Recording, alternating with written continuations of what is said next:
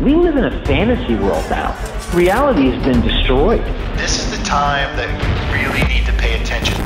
The probabilities are overwhelmingly on gold's side. That is the best environment to see gold increase its value. Welcome to Palisades Gold Radio. I'm your host, Tom Bodrovics. Joining me today is John Lee, Chairman and CEO of Silver Elephant Mining. Thanks for joining me today, John. Yeah, Tom, great to be on the show for the first time. Thanks for making the time for us. So, I wanted to maybe start by going over a little bit about how you made the transition from Silicon Valley into the silver industry. Yeah, Tom, um, I started my career in the Silicon Valley in 1995 as a software programmer and in software sales. And in two, year 2000, I moved up to Vancouver. My girlfriend was from Vancouver at the time. Um, was semi-retired. Very, very lucky. The company I worked for was bought by Oracle. And uh, a 26 year old with uh, you know a bit of option cash out, and you cannot be in Vancouver and get involved in the mining industry, especially in the junior mining industry. And coincidentally, that was when Bank of England dumped the last batch of gold at two hundred fifty dollars an ounce. So I started uh, dabbling in the junior mining sector as a retail investor, and that's how I got started. So, in doing some research for today, you were saying that your portfolio got wiped out back in about 2008, but you made it back quite quickly. So, can you tell us more about that story maybe what you learned and how you were able to make that money back? Yes. Well, Tom, you know, we've been through uh, the thick and thin, and I was running my own portfolio uh, while in this eight digit, doing, you know, 20, 30 million dollars and doing really very well. Dabbling on these juniors with the league tables of the ounces and resources and pounds and stages and geopolitics.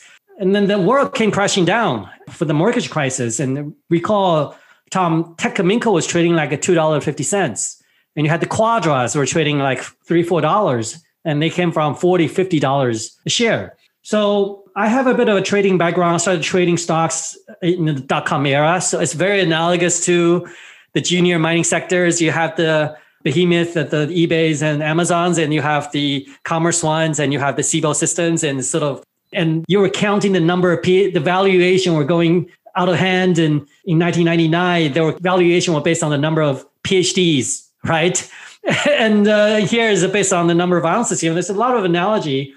I was able to make it back. A lot of it is to, and I learned from, I just learned from trading is, I think it's a combination of fundamentals and, and technical trends. And to be honest, nobody has asked me that questions. So there's a lot of things I rely on. I look for fundamentals, and I was quite blessed because I was doing a lot of trading for the 10 years prior. So we look for assets that have, well, companies that had liquidity, that were were able to pin down the reason for their downdraft, that'll be obviously be great, and not something to do with the asset, but rather just to do with the margin calls or the underlying metal were were going out of were were low prices.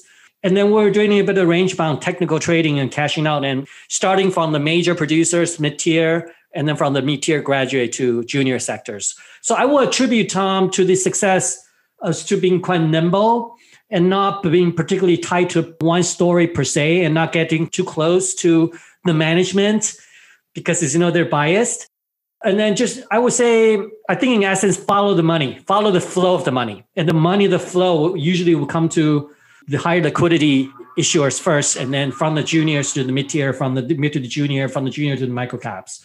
And the other thing is is also looking at sector. You had gold that were coming out earlier than the others, and then the copper and the coal, and then the other things that catch up, the uranium, whatnot. So there's a little bit of macro play, metal specific allocation, capital allocation to these sectors, and then from there you're looking at from the top down.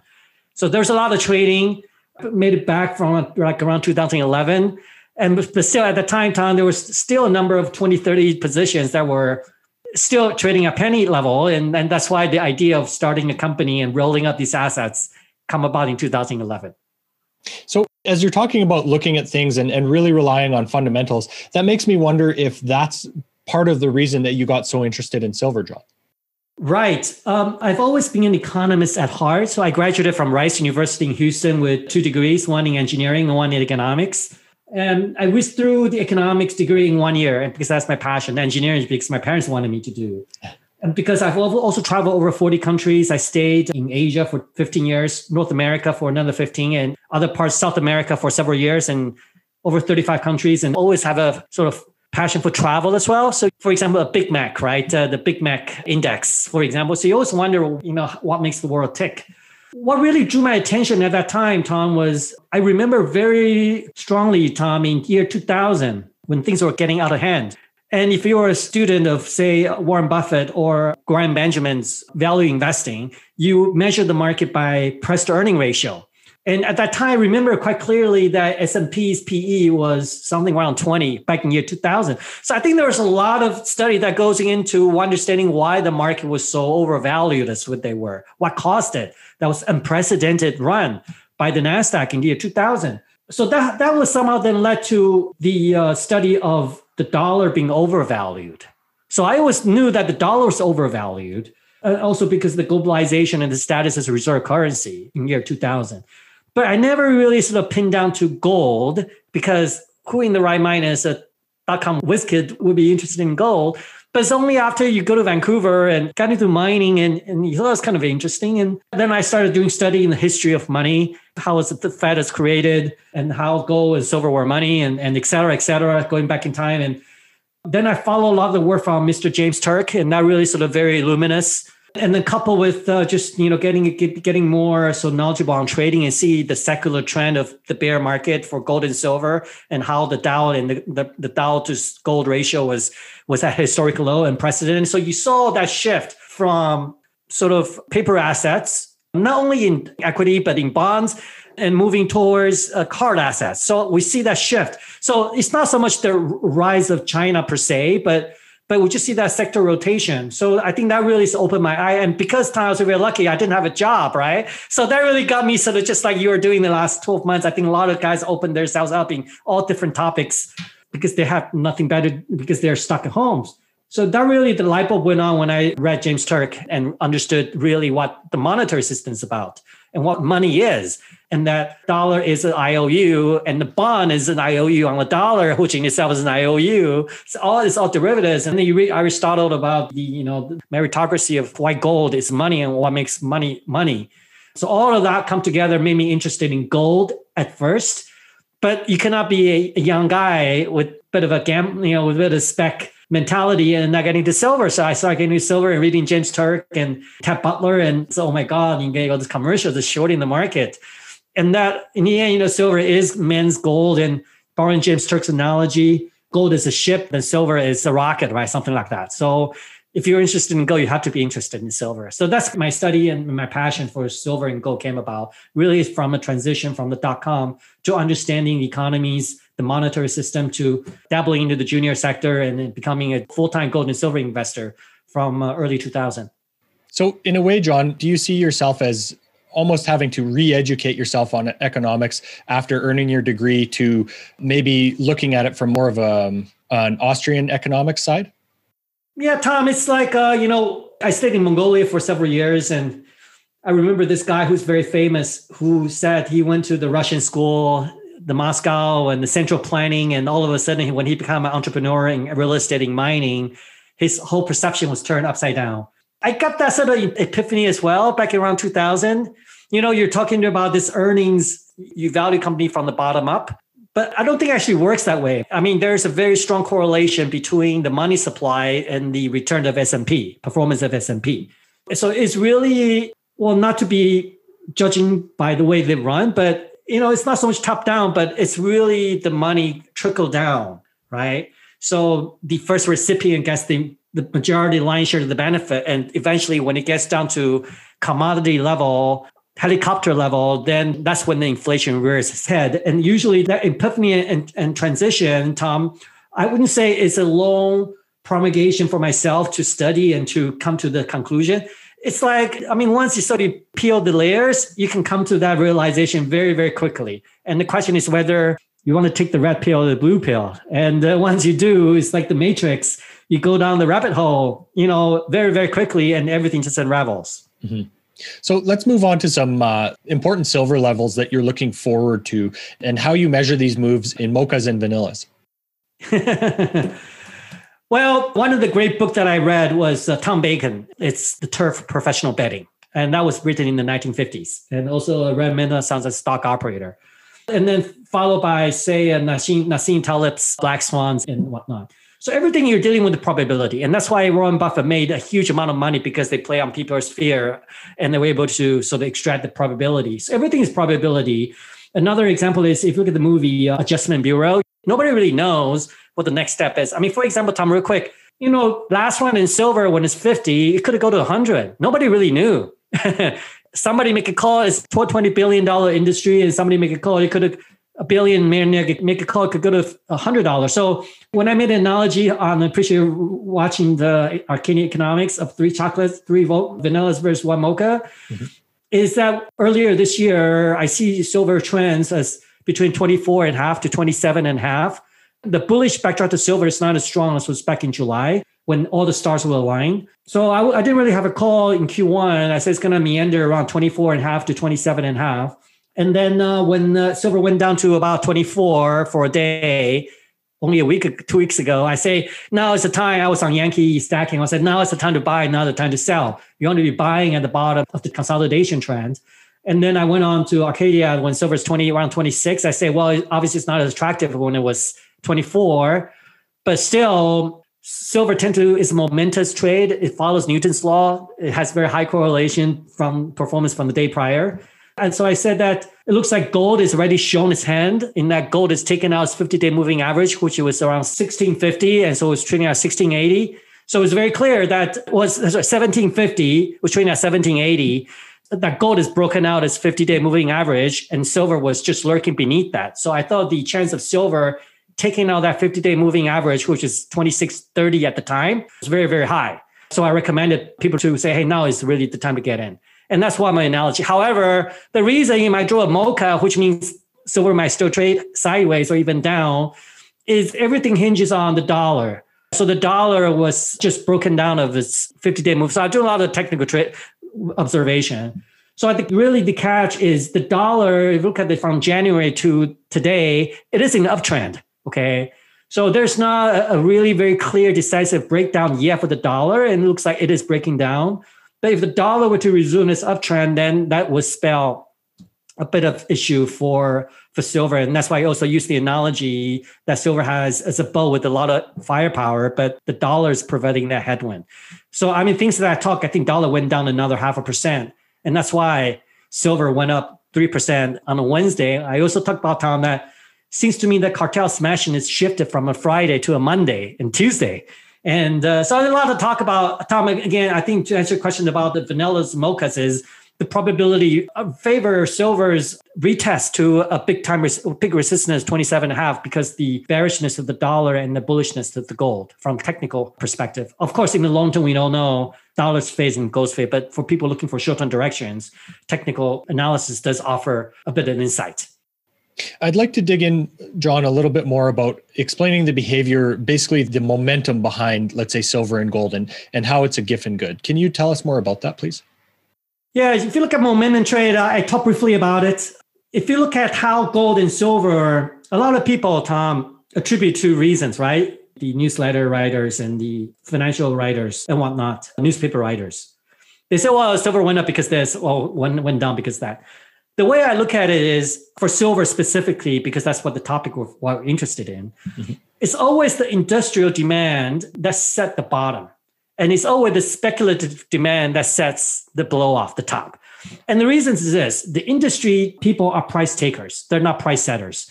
Every time when price spikes, they look for alternatives. They will defer their, their procurement. They will find ways to reduce their spend or even look for substitute and, and look for ways to cut costs. So as the price go down, the demand go as the price go, the demand go down for industrial users. However, for investors, we're the ones where you buy the price go high, you buy more. You, price go higher, you buy more. That's why you see that prices tend to trend from the day prior. And the other thing, very interesting thing about silver, a lot of people don't really pay much attention to it. But if you look the charts carefully and study closely, Tom, silver went up Majority of the silver performance, uh, silver's gain since last July, I think you can attribute all the double from 14 to right now 28 or even 30 to maybe 30 trading days of gain out of the nine months. So silver went from 14 to 30 in two weeks in July. Silver went from Reddit from 24 to 30 in less than a week. And uh, silver went from 24, 23 and a half to what we had 26 and a half in less than 10 days. And a lot of that is because as you know, Tom, people that believe in silver, it's a transition. It's a red pill. It's great. It's not like today I'm going to have an orange strawberry shake, right? Once you're in silver, you're not going to keep a lot of dollars. There are very few like Kevin um, or Larry going to keep 5% band every quarter. If you go over, I'm going to sell a little bit. Always keep that gold and silver. Very few people that I know actually do that. And I'm not sure even if they're actually doing that, even though they're saying that. So eventually, then what you have is a lot of people that go in all in. Oh my God, discover silver. Oh, silver is the bottom. They got a mortgage. So they go all in. And all of a sudden, they run out of steam, and all of a sudden, the commercial come and then they smash the market. So I, those are my thinkings on why. But the facts that they are, they, these are empirical evidence, are indisputable. But why they're just offering you some of the possibility for this reasoning, industrial versus speculative, the blue pill versus red pill. It's it's a very linear. It's one and zeros, and that uh, man, so it's, it's interesting market, and that's why there's something I said before many times. This observation doesn't just attach to a short-term price trend, but even on a longer term for commodity in general, you have a 10-year period, you have maybe only one to two years of the going up, right? And then the other years are going sideways and a couple of years going down. And coincidentally, most of the silver gains and for commodities is right after that washout, fake breakdown. And that will create the upside for uh, the commodity folks. And the reason for commodity go up is again is I think largely due to inflation and just the realization of monetary quantitative easing per se, and that there is the permanent adjustment into commodity prices. So, John, are there any parallels to the last big bull run in, in 2011 that we can look at to give us some perspective for the cyclicality of the silver and even the gold market? Oh, certainly. And I think 2011 is one of the closest analogy, and that's why why you really got to study the market. In 2011, it's a mortgage. It's a mortgage uh, crisis, and it was a localized to the U.S. Even I mean, it's a pretty big deal. It's the world's, world's largest economy. Uh, mortgage agency market was one of the largest debt market outside of the U.S. Treasury. So you're looking at a trillion dollar plus contagion effect. But COVID is magnitudes times more. So there's a lot of analogy to that. and we can spend half an hour talking about, but in essence, if you look at some of the major markets like the dollar, the bonds, the metals, and an equity, they exhibit very similar behavior, namely on the peak of the crisis, which was January 2009 versus March 2020. You see the peak of the dollar and you see the bottom for gold, you see bottom for equity, and you see the peak for bonds. And then after that crisis came, you, you have the very quick precipitous event where the dollar crash, right? The gold surge, equity surge, bond uh, bond started crashing because the safe haven plays are gone. Is we're almost playing out exactly as was 2011. I would point out a couple of differences. One is the pace, the stimulus. Well, the first difference is the magnitude is a whole lot bigger, multiple times bigger in QEs and all these measures. I mean, fast balance sheet went from 2 trillion to 7 trillion in less than nine months is completely unprecedented. But magnitudes aside, the time it takes for the storybook to play out is much accelerated. So what I mean by that, for example, it's taken over a year for the equity market to recover to the prior crisis high, but we're not even a year. We're six months after the peak, where the equity already breaking an all-time high. And uh, same with the dollar. The dollar went down quickly with what happened but in 2010, a full year after the financial crisis, dollar staged a rebound that lasted about almost seven months. But in our scenario, the dollar started rebounding in January when it's 88, 89, but now it's around 93. It looks like it's petering out. And we're not even three months into the whole cycle. So it seems to me that um, there's not a lot of knowledge to pay out. The differences are the magnitude is a lot bigger.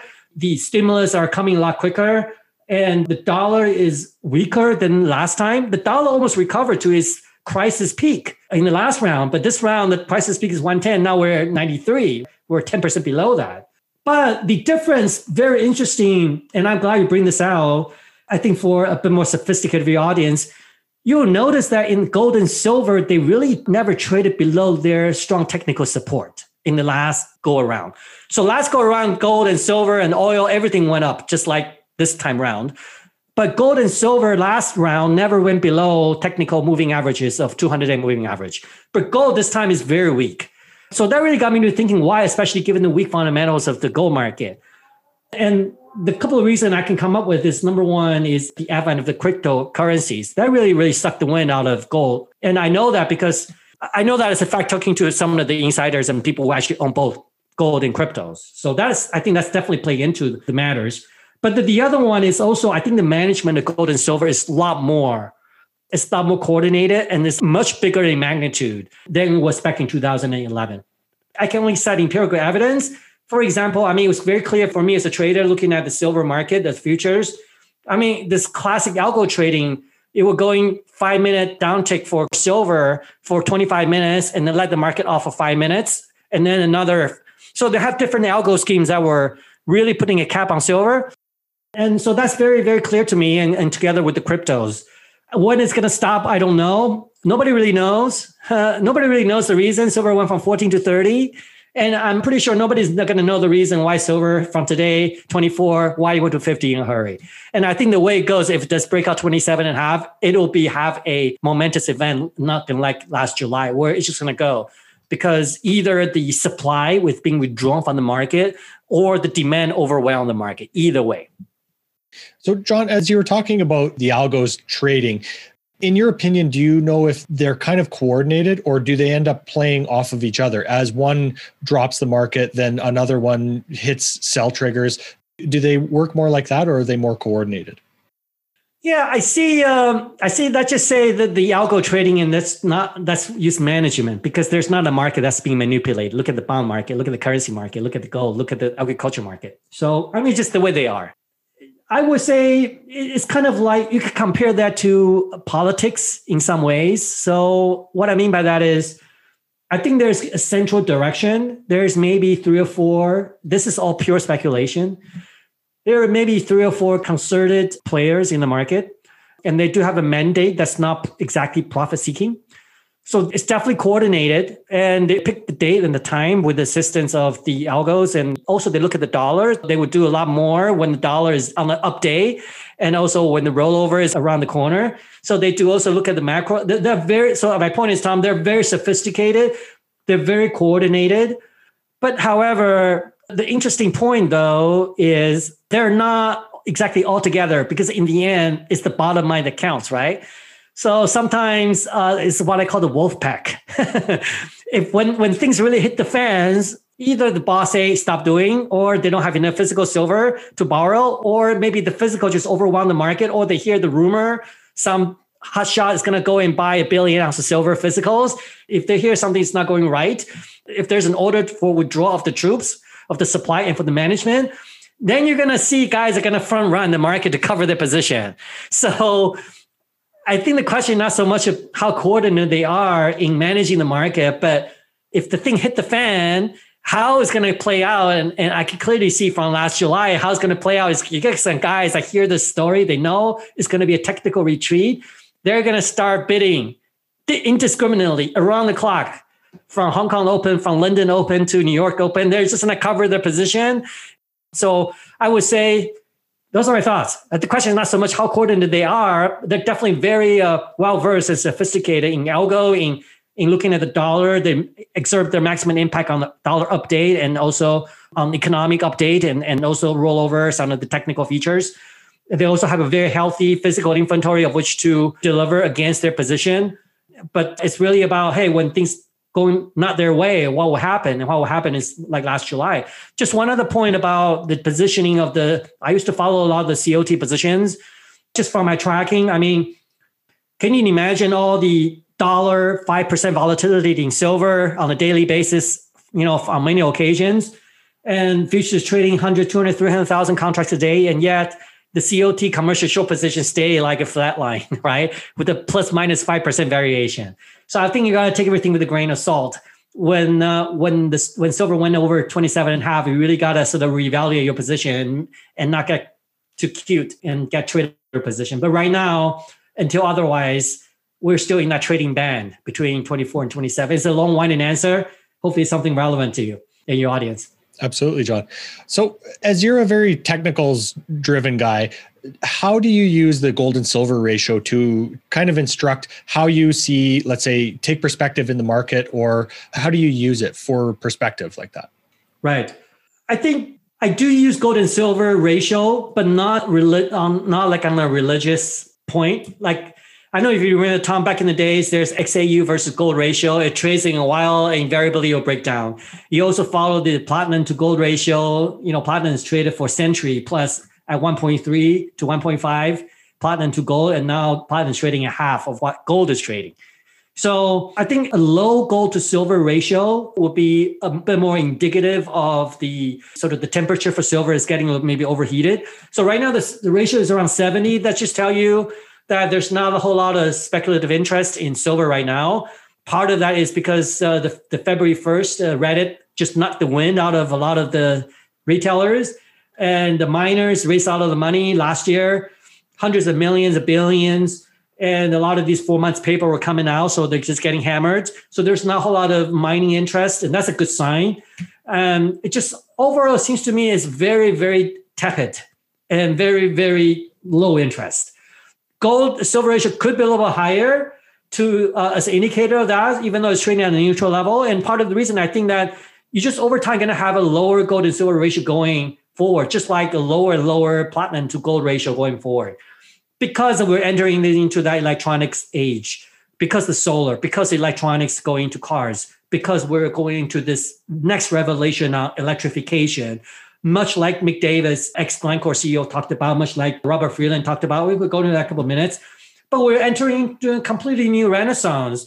You know, the war is not fought for fossil fuels anymore It's for the strategic semiconductors, it's for green energy, it's for self-sustainables, it's for environmental sustainability. It's not just a cliche. Whether there's merit to that is another matter. But clearly, you know, there's going to be some winners 5, 10, 20 years down the road. You've got to be very careful where you want to go. For sure, for me, I am not going to go rotate from silver to gold because the gold to silver ratio is low. I think it's just going to establish at lower low levels going forward for gold to silver. So I do track that, but I don't track that too much. But rather, I think another thing with silver is is a bit of what I call the vagabond. It's a very, very difficult market to trade. So for months, it will trade close to gold in a fair market. And in a greed market, it will trade actually some correlation to cryptos and NASDAQ. And for sometimes when there's geopolitics, it actually trade closely to oil. So it has all these on a day to day or week to week, but invariably it will latch you onto something else. And that's why another reason you see silver window crazy because it's almost like it's broken down of every trend. It couldn't get as bearish as it is. All of a sudden, it start going up by itself, defying all the ratios that you track. And that's why I highly recommend. It's not an easy market to trade. You just got to establish your core position and then uh, long for the ride. I, I wouldn't follow ratios too closely as a way to trade silver. So, John, as you were mentioning this shift towards green energy, is your strategy as a company of building silver and nickel reserves mainly focused around that transition? Um, Tom, I'm the largest shareholder of the company. This is my full time job. I want to see the company successful. So, and I'm a, I'm a sort of a macro guy looking at the whole picture. Our shareholders, and myself and company, so my point is, uh, Tom, I'm not sort of glued to one particular asset. So we always keep an eye out. And my New resolution set on January has never come to fruition at the end of the year. It's totally different set of new goals that came along. So we look for value, Tom. We look for value first of all. And secondly, we have good assets that are very advanced stage. So we're not likely to go back to exploration stage assets. So going, you know, what is the mandate of our company and what I look for personally? let me go back to Robert, you know, some of the people that are smarter and richer than me. I was just watching Robert Friedland. He said something really quite illuminating, Tom. Allow me to share. He said that if you look at the periodic table, and we only have one, we don't have two, okay? And there are some winners out there, and there's not a lot, maybe six to eight, not more than that. And then to be successful as, a, as an investor, like the bond market, if you clearly call out this disinflation or deflation back in the 80s, when you're 30 year was giving you 15% a year, right? You could have bought and getting 15% a year right it happening into retirement. You know, and this COVID is, oh, well, how come I didn't see the advent of Zoom, right? Oh, everybody's going to go telecommute, right? And then you're kicking yourself, why didn't you buy Moderna, right, uh, with the vaccines? And also the cryptos, even though I'm not so much big fan of cryptos, I think going forward, see, why is a big trend going to cash in the next five to 10 years? Okay. It's not like another Google getting cute or another social media but rather what are the metals that you need as a person? And Tom, if you look at the electricity consumption per person. In the United States, I was just doing that study, I think it was around 10,000 kilowatt hour per person per year. That's United States, 10,000. And you have some areas like Iceland, and that's like 30, 40,000 because they have to burn to keep themselves warm. And you have some country like China is at 3,000, but you have some other countries that are the 1,000. When you have a 1,000 kilowatt hour per year, it's like, you know, you're in the Congos, right? just, there's nothing going on. It's a good indicator. So if India is around 1,000, 1,500. So I think China took them, you know, 10 years. It went from 1,000 to 3,000. The United States is around 8,000 to 10,000. You see that trend keeps going up. It goes up 10% every year. So it roughly doubles every year. And they said, well, if we need electricity, where's electricity come from, right? And we talked about fossil fuels and things of the past and coal because the green energy, but the carbon dioxide, uh, believe it or not, the country, the world's going into a carbon dioxide deficit because there are too many trees. There are too many trees today versus 20, 30 years ago, a century ago. That's different matter. But everyone to go green, fine. But if you're going to go solar, you need silver. If you're going to have solar and wind, you're going to need batteries. Battery, you need lithium. Lithium, you need nickel and cobalt. Or if you have a, a grid scale battery, you need vanadium. So everything to do electrification, you want to get your hands on because that trend is not going to continue, not going to last. So going by that magic and, and also, you know, the, the use of fossil fuel is going to die down, which is only going to embolden the use of electricity. So you got to follow the trend. So what are so what are they? They're they are lithium, but there's abundance of lithium everywhere. That means hugely abundant. The bottleneck is in the processing. But there's nickel, there's copper for conductor, for silver, not only for money, for electronics, for solar. And then you have uh, nickel and cobalt. You have some palladium, platinum potentially for catalysts and for you know the newer generation of hydrogen fuel cells and whatnot. But that's a little longer way out, the more speculative. So you, you don't want zinc, you don't want lead, you know. So you look at periodic table and what bets are I gonna, you know, what am I gonna bet on? And then the other thing is, Tom, if you look at also in terms of how high silver is going to go or metal is going to go, especially if you bet on things that have good fundamentals in the first place in industrial demand. And one of the things that could be adding on monetary demand is you definitely want to go to bonds that give you 1%. Why is that? Well, if you look at the number of millionaires, I was doing a quick research. Today we have almost 50 million millionaires, five zero millionaires, 50 zero, 50 millionaires around the world. You know, back in 2010, how many were that? There was like 10 million. So in less than 10 years, we come fivefold in millionaires. And then if it's silver, look, I was at $50 back in 2011. Well, you know, by that logic, the silver could potentially reach 500, right? Who knows?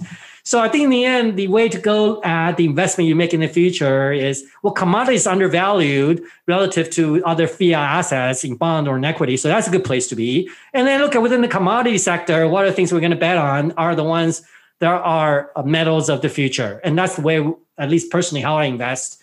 And it was very, it was very illuminating to see that, you know, you should make a few bets and, and bet on the right thing and, and not treat yourselves out. Does that answer the question, Tom? Yeah. So, John, in doing research for today, I heard you say that when developing feasibility studies and PEAs, they're oftentimes quite inaccurate. Is this because there's so many unforeseen factors that can present themselves? And is this where an experienced management team can really add value to try and mitigate these unforeseen problems? Yeah, Tom, this is not issue pertaining just to junior companies. And so I wouldn't say the management experience is necessarily a indicator of how good of a feasibility study is going to come out from the company. A case and example, say Tolgoi Hill, right? Robert Friedland, as you guys are probably familiar with, in in Ivanhoe in uh, in Mongolia, is run six billion dollar over. And also in the case of say, I don't even remember NovaGold with Barrick uh, joint venture on Galore Creek. That was a gold and copper project in British Columbia, and their tailings design was found to be flawed and was billions and billions of dollars additional money that you needed. But for somebody with a very basic background can clearly see some issues right off the bat. Even for me, looking at the configuration the valley and the, the side dimensions of the area for the for the dam. So I don't have an answer for that. And I would say maybe, you know, like for a better analogy, feasibility and PEA maybe are designed to, or 43101 you know, if somebody want to do a Bre-X or a John Paterson, a Southwestern Resources, there's really not a way to stop them from doing that. And I would say the feasibility study and PEA are just another uh, check and balance. But having read through hundreds and our company ourselves, we've done through over a dozen, well over a dozen. As I said, I could have asked three companies do a PEA and the numbers would come out completely different. And then you have also, you know, another case of Pretium. You know, there's a lot of discussion about whether the resources are reserves and whatnot. And there's huge discussion. And you have some of the most well-renowned, qualified people that are in discussion of whether the resources are real. And then you have another one uh, recently bought by Osisko. Can't remember the name. Uh, Barkerville, for example, right? BCAC holded them seven years ago, but definitely that's something because it got by Osisko. So I would say not necessarily. Well, obviously, the, if the management has good track record, it's a piece of comfort. But unfortunately, I would say mm, a lot of the feasibilities and PEA are issued for reasons other than to advance the project. Like you need to raise money, for example, right? Or you want to you want to make sure that you keep the light bulb on. So call up their CEO and just have a very basic discussion about the PEA and just get a feel for more than anything else. So I, I don't necessarily think, and also cross-reference some of the people that you know in industry in the industry, especially if you have a big position in the company. I think those speaks more. And just last point on that, Tom, is we've dealt with a number of majors that look to joint venture or interested in our assets doing due diligence. None of them really ever looked at any PEA or feasibility study. They all do their own studies. They will ask for your drill database and configure their own model. They will ask for you, they will go to the field and take representative samples and do their own metallurgical testing in their own labs. They will hire their own engineer. They will hire independent environmental firms about environments for tailings and for and they'll hire their own social guys to uh, get engaged on measure on the social community factors on all that. So unfortunately, PEA is a good indicator, but you know, I personally don't read too much into PEAs. Even uh, for example, I can also tell you that even on a feasibility study reserves, even that could be called into question. I've personally invested in a lot of, well, in a three or four underground mining operation with proven and probable reserves at a much lower gold price than it was printed on the screen. And yet they couldn't make money quarter after quarter and had to go to a bankruptcy. I can name three or four of them, right? Gold is one, Colossus Mineral is another one. And uh, recently, uh, the guys in, in, Colombia is another one. I can't remember the name, but Red Eagle is another one, Tom. So you just never know. Again, it's like a box of chocolate if you have a feasibility study is a big number, okay, so you have three vanillas, but doesn't mean you're not going to have a mocha, right? You you really don't know. Mm-hmm.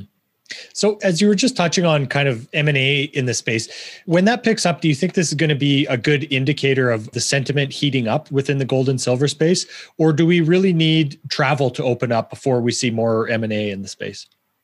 Um, great point. So let me explain the landscape today versus the landscape maybe in the last run up to 2009, because I personally endured as a full time investor, as well as the correction that happened from 2010 to 2020. In the first go round, you have a lot of juniors out there, like probably three times as many. You have, you know, Silver Wheaton get started by consolidating a number of copper assets and silver assets and you have Cumberland Resources came to mind. It was a gold project, got bought out. Nevsun is another one. Oh, there's quite a lot of them. You know, probably consolidated over 30 juniors was bought out, maybe maybe even more. I'm pretty sure it's probably more. And I was thinking copper. There's a lot of copper guys got bought out, right? Uh, by Barrick. Uh, a couple of guys in Africa got bought out. Tyler Resources got bought out. I'm, I'm just thinking about the guys that, that actually own shares. And so I think there's absolutely no question the wave of M&A is going to come. And it's already already it's has already arrived, given even though it's still, I would say, the early innings of a major bull market. I mean, if you look at Guyana Gold recently got, got bought out, Cardinal Gold got bought out. You have the Equinox big consolidation that's happening. And uh, you have recently GoldX that merged with Gran Colombia, for example. So there's a lot of consolidation already happening. And then I mean, I, am not a full time investor anymore, but however, if you pull up the number of mid tier producers that are saying between 100,000 ounces to 300,000 ounces, I'm not sure if there's more than 20. so there's not a whole lot. And if you look at the mega mergers, well, all of them are taking place already. Goldcorp, Newmont, Barrick with Randgold. And so, you know, how much more mega are you going to get? Going to get like a Kinross with Barrick and uh, or Equinox. Like, I mean, there's huge mergers. I mean, to the point where First Majestic couldn't find anything after merge with that bought out with Jerritt Canyon from uh, Sprott. So I would say the trend is going to continue and it's going to accelerate because these mining companies being focused on delivering dividend, they're very behind on their capex spending. And then because of a lack of quality mid-tier producers, and I think they're going to be concentrating and focusing downstream into juniors with sizable resource. And that's why I want to caution out. There are a lot of guys that have bottom fishing coming out of this correction in the last four months. Is that, oh, you know, silver elephant trading at 40 cents. So it's only 20% from its prior peak, but the guys are down 70%. So I'm going to average down, right? I think now we're going to go through the chasm, not unlike 2011 or dot com in 2010, where the guys that the haves and have nots is going to separate. That the first time everybody get funded, but not the second time. Okay, if you fail to drill result, I mean Toro Resources is one example, and there's going to be plenty down the road uh, as they disappoint one or two times. They're not going to get funded. So it's what Warren Buffett said. I want me say I said this right. You rather pay a fair price for a great asset than a fantastic price for a fair asset. So what I mean by that, you don't want to be bottom fishing for things that are just not good, but for the assets that are good. And what I mean by that is minimum a million ounce, like Newfound Gold. It's going to go higher because there's nothing out there like it, right? Great Bear, that's another one. They're going to go high, go higher, and go higher, and they're they're going to. I mean, it's for it's almost foregone conclusion. They will be taken out, Tom versus or for silver, you got to have a minimum 100 million ounces because at 100 million ounce in resources or reserves, that would support a 5 million ounce per year in production. If you look at, say, First Majestic, they're producing 30, 40 million ounces a year. They're not going to go after something that's going to max out at 2 million ounces a year. That's not going to swing their needle. So I will focus on companies and talk to the CEO and ask them questions, right? Are you doing this full time? Because it requires a full time job to develop an asset of size.